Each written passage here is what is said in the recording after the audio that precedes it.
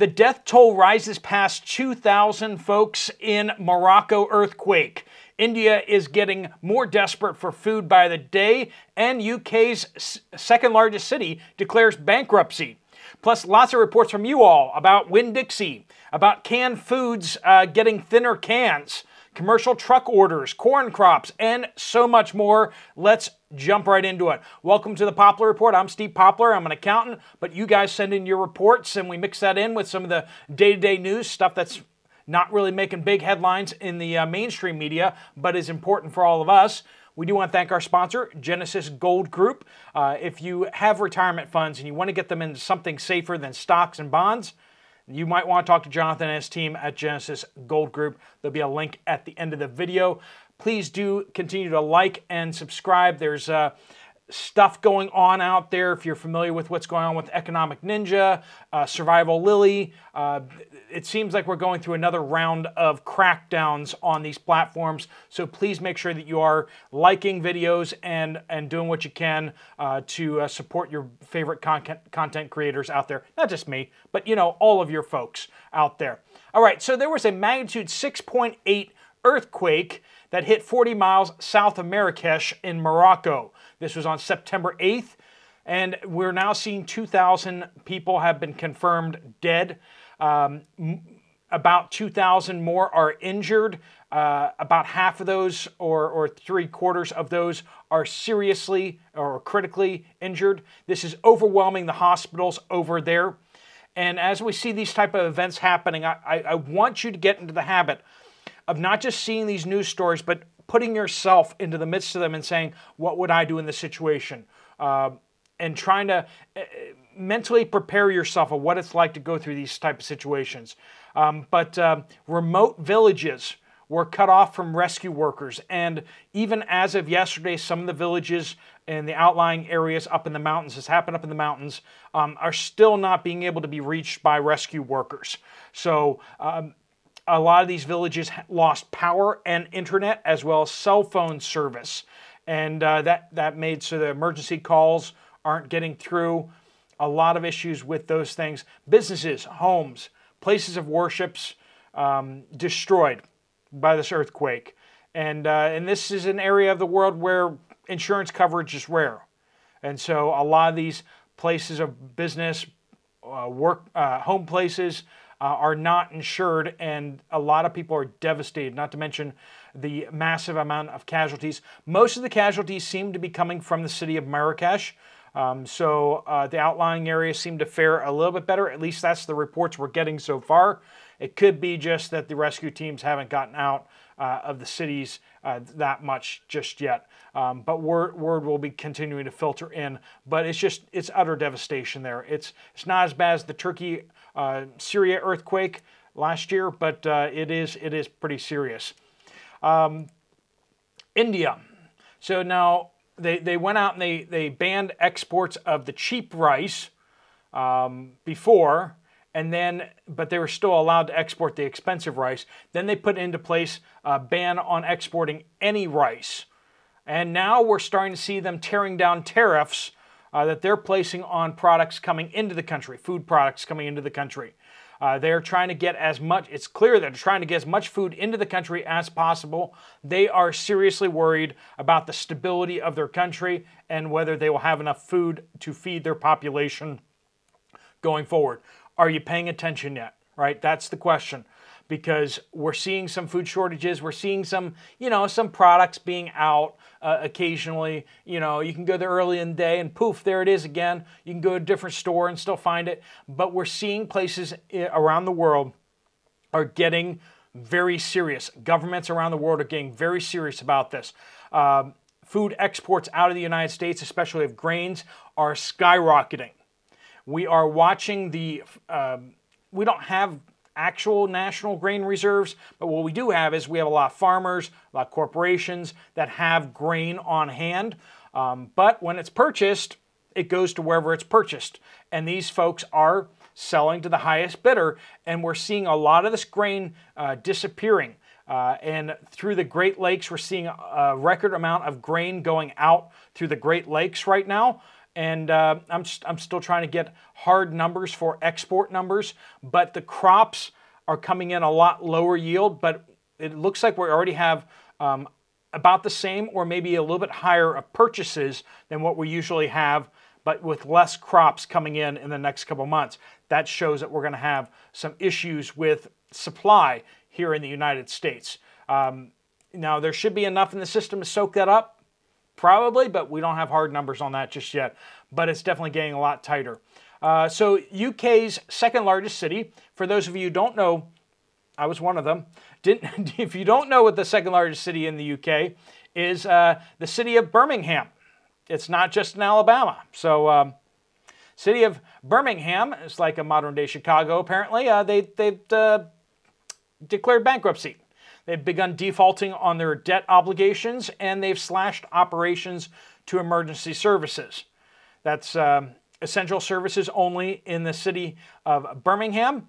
And uh, they, uh, they got themselves into a financial pit and they can't dig themselves out of it. We'll see if bailouts uh, come soon. But uh, we're starting to see that those debt defaults happening across the world. This is from Elaine. Aldi has purchased all the Winn-Dixie stores in the Southeast. Uh, and, uh, and that's true. That happened uh, a few weeks ago. Um, we started seeing those kind of reports. But, but for those of you in the Southeast, and you're kind of wondering what's going on with that. Um, so what they're going to do is, because I started kind of asking that question of what is Aldi going to do with all these Winn-Dixie stores, right? Well, they're going to convert some of them over to Aldi's. So if they're in an advantageous area where Aldi doesn't have a, a store yet, uh, they're going to convert them into an Aldi. Um, but obviously, Winn-Dixie stores are a lot bigger than Aldi stores tend to be, so I'm not sure how that's going to work exactly. But a bunch of the Winn-Dixie stores are going to stay Winn-Dixie stores. Uh, they're just going to be under the ownership of Aldi. So that's apparently what's going to happen to them. If you're not in the southeast of the United States, then you're probably like, what's a Winn-Dixie, right? Um, well, it's a grocery store. That's what it is. It's a cultural experience. Uh, this is from a viewer in North Idaho. I took my mom shopping today at Grocery Outlet, and at least two dozen of the signs, um, uh, and they showed the signs, uh, they sent me an email with the signs, um, were posted throughout the store, basically saying, We're sorry that this product's out, we're having supply issues. Uh, when you see those signs going up, and especially when there's two dozen of them, uh, that is concerning. That is with the, uh, the store's grocery outlet. Um, the shortage, as they write, the shortages have reached the Pacific Northwest. All right, this is from Professor Chris, and this is a question for you guys out there. Um, whether some of you want to get into experimentation or whether you can just uh, kind of tell me if there's any uh, truth to this. Perhaps some of you work in the industry that can answer this question. Uh, I have been noticing for a while that cans, i.e., the cans for canned foods, are thinner walled, uh, meaning that they're using less material, steel, tin plated steel, right, to make a can. Uh, when I go into my preps and compare a can from five years ago versus a can today, they are very different. A can from five years ago is hard to dent by crushing um, by the hand unopened, whereas cans I buy today I can easily dent a current can by squeezing it just in my hand. From a prepper perspective, we all know that cans with pull tops have a shorter shelf life than the cans that need to be opened with the can opener, right? Uh, it would not surprise me if the current thinner cans have a reduced shelf life for the food inside. Can you please ask the community, and here's where we are, uh, if anyone works in a can factory and knows this for sure? Now, I got on the Google search and started trying to research this myself, and all I could really find, because I figured they'd be like bragging about how they're using less steel, you know, to save the planet and stuff. Um, and what I could find is, uh, is something from 2011 um, where it said basically that they're using 30% uh, less um, material than what they were 20 years ago, which was like 1990. Um, and then I saw other people kind of quoting that, and they're they're saying like, in the last 30 years, but then they were kind of doing that from my current date. So uh, it seems like no one else has uh, actually reported on that. Um, so if you have information on, on how much less material they're using in these cans, um, or just even just sharing about uh, your experiences with the cans. Um, I will give you a couple quick practical tips here though. If they have the pop top uh, can, make sure you're not stacking them. Okay, uh, it's the cans as long as they stay sealed are going to be good, whether the pop top or whatever. The problem with the pop top ones is if you have the pressure changes, uh, the the seals can un, unseal themselves if there's enough pressure change.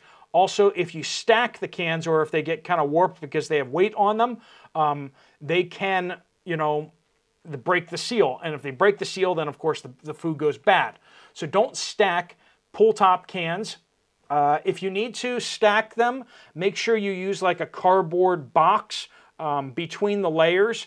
Um, but even then, you probably shouldn't do that. Just just try to use regular cans uh, for bottom layers, and then just always put the the pull top cans on the top layer if you can.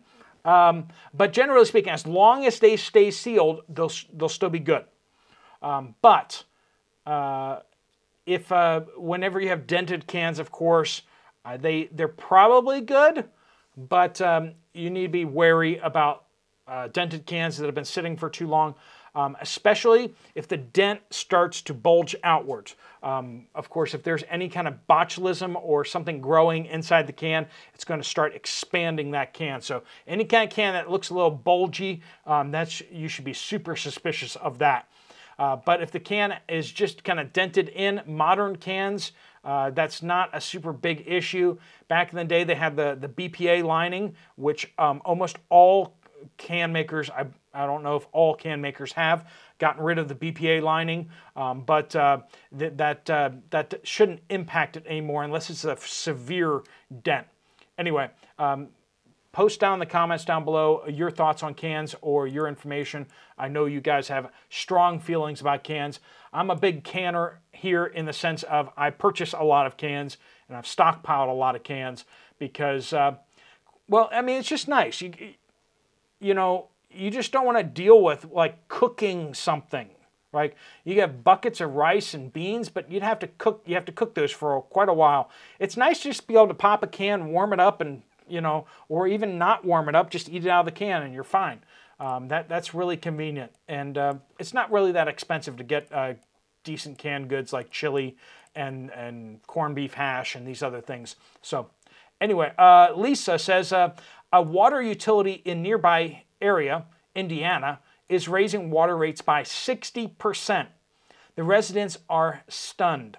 The reason given was increased costs and the need for newer facilities.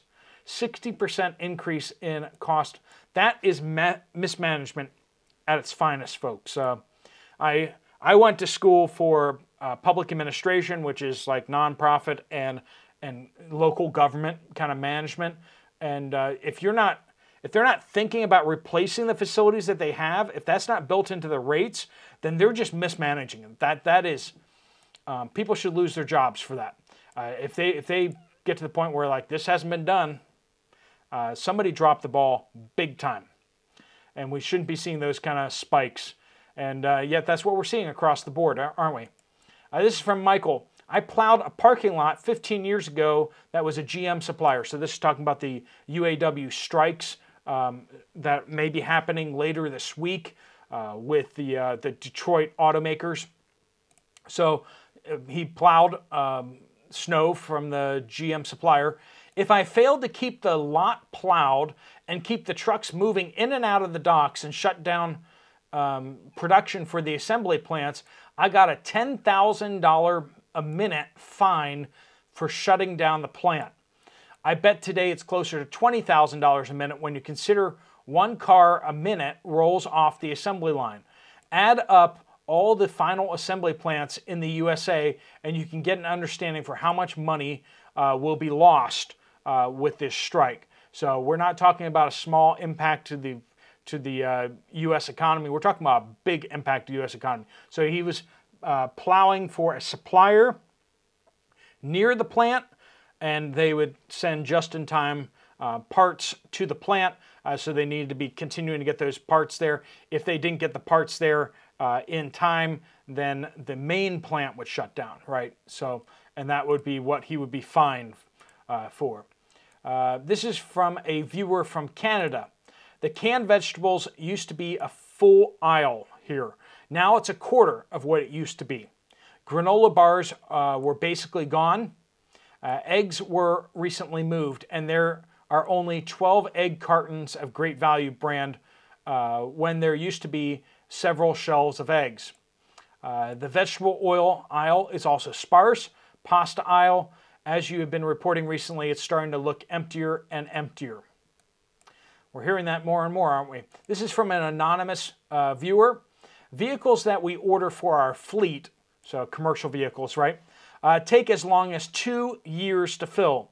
That is if they are not canceled outright by the manufacturers. Uh, however, there is no guarantee that the order will be filled. Uh, due to extended lead times, vehicle prices almost always uh, are increased by the time we receive the vehicles. If you look at the Producer Price Index for motor vehicles and equipment at the Bureau of Labor Statistics website, the government website, right, you will see that the index remains elevated at an extreme level. The auto industry is facing uncertainty due to the transition to electric vehicles, uh, spiraling inflation and ongoing supply chain issues and shortages are exacerbating these, uh, these issues. So, um, and that's what we're hearing from a lot of the manufacturers out there is that everyone's trying to switch over to EV production because that's the future. And so they're not making investments in their existing infrastructure. And, uh, and when you have these type of lead times, the idea that you can get an order in but not actually fulfill the order for two years is crazy, and that's the industry standard. This is from Angela. Uh, my hubby works for UAW in Hagerstown, Maryland, with Volvo uh, slash Mack.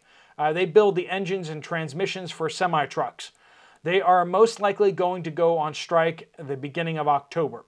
So now the contract ends this Thursday at 11:59 p.m.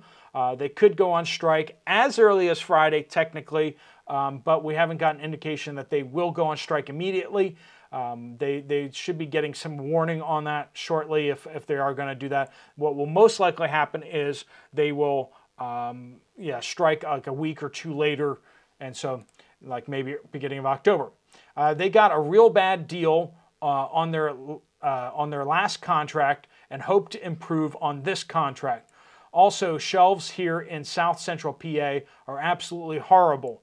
We've been canning and stocking up as much as possible. I don't know how anyone can see, can't see the forest in front of them, right? Get so focused on little data points that you can't see what's going on overall. This is from Missy in Middle Tennessee area. Discount grocer. Uh, their freezer section was closed down. It broke three weeks ago, and they're still waiting on parts to fix it. Three weeks ago, their entire freezer section. Crazy. Um, if, if these stores, if these businesses can't get parts, what do you think will happen when your stuff breaks? Right? Uh, definitely something, uh, this is Robbie, definitely something going on with self-rising flour in our area in North Louisiana. Uh, about a month ago, Walmart had White Lily on clearance, and we haven't seen any self-rising, but a little great value. Uh, all-purpose flour is pretty well stocked. Uh, and so, obviously, um, self-rising flour is just some baking uh, powder with salt inside regular flour. Um, but we are seeing some issues with baking powder out there. So maybe that's what's kind of going on with that. But we are seeing some of these other kinds of flour uh, going into issue out there. Uh, also, uh, I believe the, uh, the self-rising flour uses a slightly different kind of flour too, and maybe that's what's going on with that too. I don't know. Um, Nancy says, update, no cottage cheese at Aldi in Eastern Virginia, and dairy milk and creamers are thin. And this is from Farmy in Kansas. Corn yields are low in many areas this year, and farmers are opting to take what they harvest to ethanol plants rather than food and animal feed production because the price for ethanol plants is higher than food and feed. So you may have fuel this winter, but you may not have food this winter, is basically the amount of it. Ethanol has more stringent quality requirements than food and feed grade as well, uh, so that um, so what food uh, so what corn is left for food is not great quality. expect availability and quality to decline. So you're hearing straight from the farmer's mouth um, from Kansas there. If anyone knows corn, them folks do. Now, uh, Kansas has been hit rather hard by the, the drought, uh, particularly there. Um, but uh, some of the areas in the surrounding uh, Missouri was has been especially hard hit uh, by the drought, but uh, but Kansas a bit too. All right, folks, keep your reports coming in. Just let just use the word update in your comments on any one of the videos here, and let us know what you're seeing or what you're hearing at your workplaces. If you want to find out more information from Genesis Gold Group about what you can do with your retirement funds funds to uh, make them more secure, uh, there is a link right here. You can just fill out your information there. All right, folks, if you want to check out another video, there's one right up here from this channel. I'll see you over there, or I'll see you later. Steve Poplar of the Poplar Report.